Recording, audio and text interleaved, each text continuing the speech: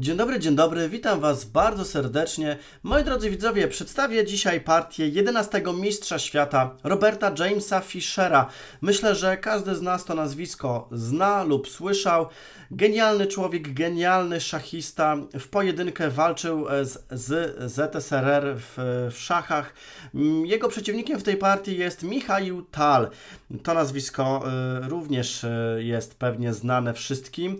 Michał Tal, czarodziej z Rygi, niezwykle silny zawodnik kombinacyjny. Y, to byli wielcy, moi drodzy, szachiści. Przejdźmy już do analizy jednej z wielu ich partii. Mm, Robert Fischer rozpoczął ruchem E4. Michał Tal zagrał C5, skoczek F3, skoczek C6, obrona sycylijska, e, D4, bicie na, na D4, skoczek zbił na D4, E6. No dobra, tutaj pojawia nam się wariant Tajmanowa, e, skoczek na C3 i e, hetman na C7. W tej sytuacji, jeżeli zagrywamy tutaj skoczkiem na B5, to też nie jest, że tak powiem, groźne dla czarnych, bo hetman B8 i grozi zagranie A6 z wypędzeniem tego skoczka. Tutaj e, Robert Fischer zagrał ruch G3. Ja przypuszczam, że panowie wiele partii ze sobą rozegrali w obronie sycylijskiej e, i Fischer po prostu wybrał sobie tym razem taką spokojniejszą ścieżkę. G3 jest takim spokojniejszym ruchem, gdyż e, ustawiamy gońca na G2, robimy roszadę, ustawiamy gońca na, na E3, przepraszam. No mamy normalną pozycję, normalną grę, taką no, spokojną, że tak się wyrażę. Skoczek na F6 zagrał tutaj Michał Tal. No i właśnie ten ruch jest może Mm, nieco wątpliwy, dlatego że Fischer e, zaczyna tutaj swoją eskapadę na przeciwnika i zagrywa od razu skoczkiem na B5. Różnica polega na tym, że jest już ten pionek na G3, który e, powoduje pewną tutaj korzyść dla białych. No i tutaj hetman zagrać na B8 raczej musi, bo inaczej skoczek e, na D6 by się wpakował i wymiana gońca za skoczka na pewno byłaby dla białych korzystna. I w tym momencie właśnie zostaje zagrany goniec na F4. Właśnie pionek tutaj pomaga gońcowi, od razu atakuje hetmana. O co tak naprawdę tutaj chodzi?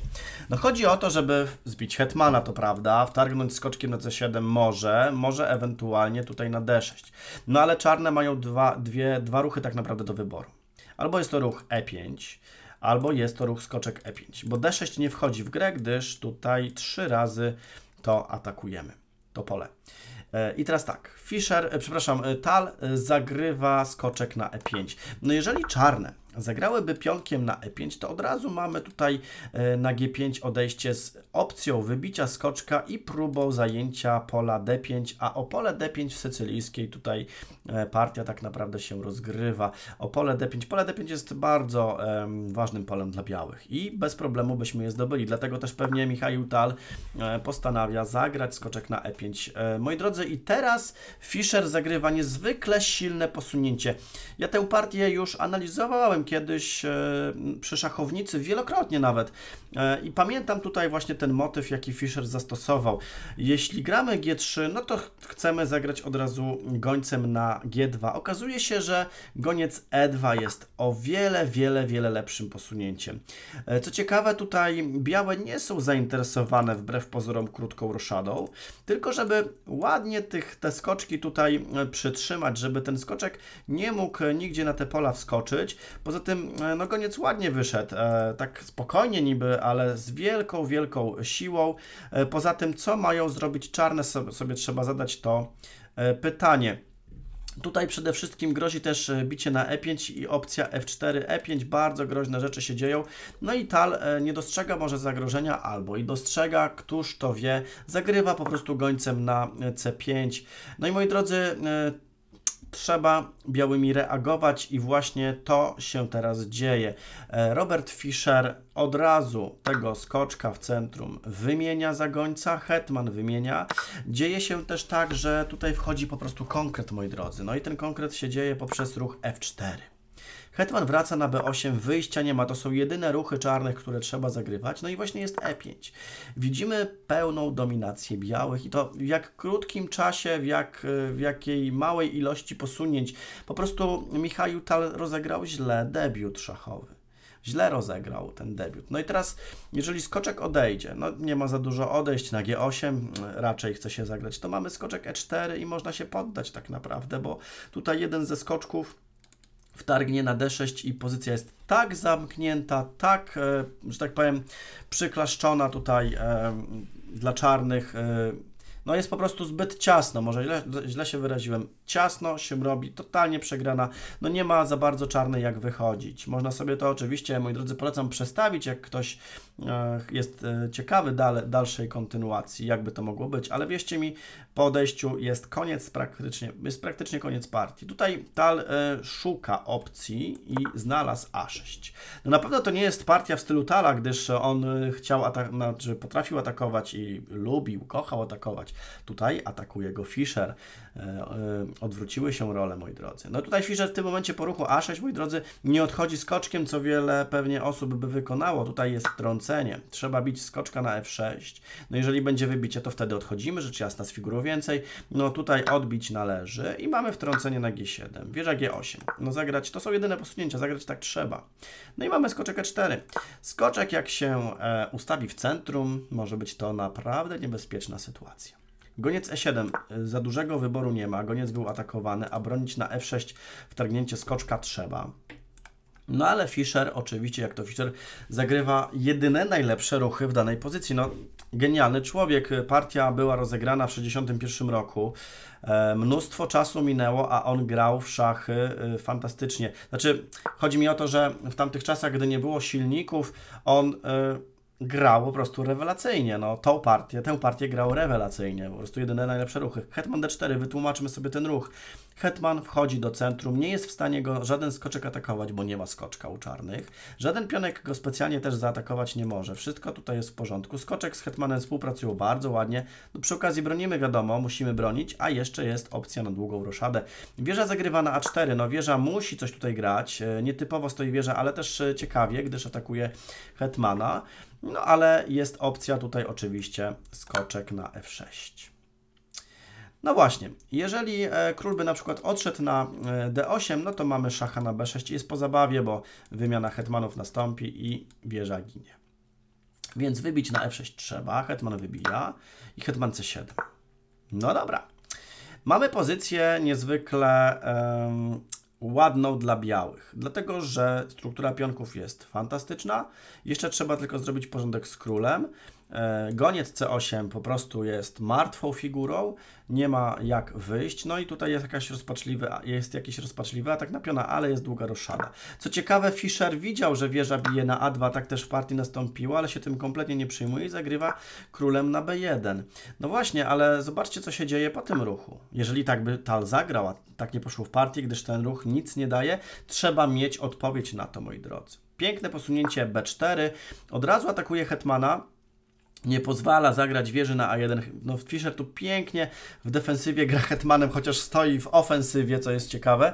E, no i tutaj wybić nie można na B4, bo wisi wieża, więc takie zagranie jak na przykład hetman A4 e, byłoby możliwe. Hetman A3 tak naprawdę nic yy, tak naprawdę też nie zmienia.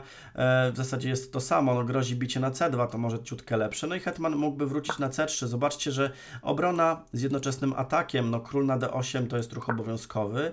I teraz, moi drodzy, mamy dwa ruchy do wyboru, takie dosyć silne, nawet więcej. E, można wybić na przykład gońcem na B5 z opcją potem wybicia wieży. Można zagrać spokojny ruch wieża E1, można zagrać ruch F5 i tak naprawdę tutaj czarne nie mają nic do powiedzenia. To, to pozycję białe sobie gra bez żadnego ryzyka. Król mm, jest e, no, w centrum, broni gońca, który jest, że tak powiem, kompletnie zbędną figurą w tym momencie, nic nie robi. Mm, pozycja jest totalnie wygrana dla białych. Przede wszystkim musimy próbować grać tak, żeby nie było zagrożenia dla nas. Jak nie ma, no to sobie gramy już wtedy naprawdę na dużym luzie. E, w partii, w partii, moi drodzy, e, po król B1 E, wieża zagrała na A6. No dobrze, wieża tutaj ma ochotę na tego hetmana. Planuje pewnie zagrać E5, żeby tu się uaktywnić, atakować hetmana, ewentualnie zagrać na E6. No tutaj mamy na szczęście białymi i tak Fischer zagrywa, goniec bije B5, wieża na e, B6.